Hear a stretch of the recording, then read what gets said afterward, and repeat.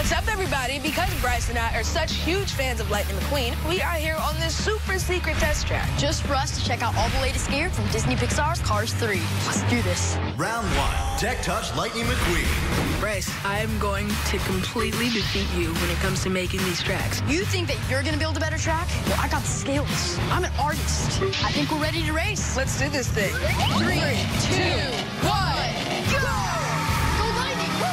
secret to making a great track, you have to make like really sharp turns.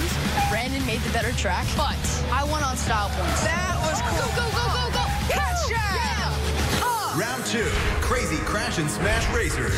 smash and crash! That was just fun. Brandon is the best at making tracks, but I'm the best at smashing and crashing. The doors and the hood of the car would come off. Yeah! The day was You awesome. want to race again? Oh, yeah. Let's do this. Available now, each sold separately.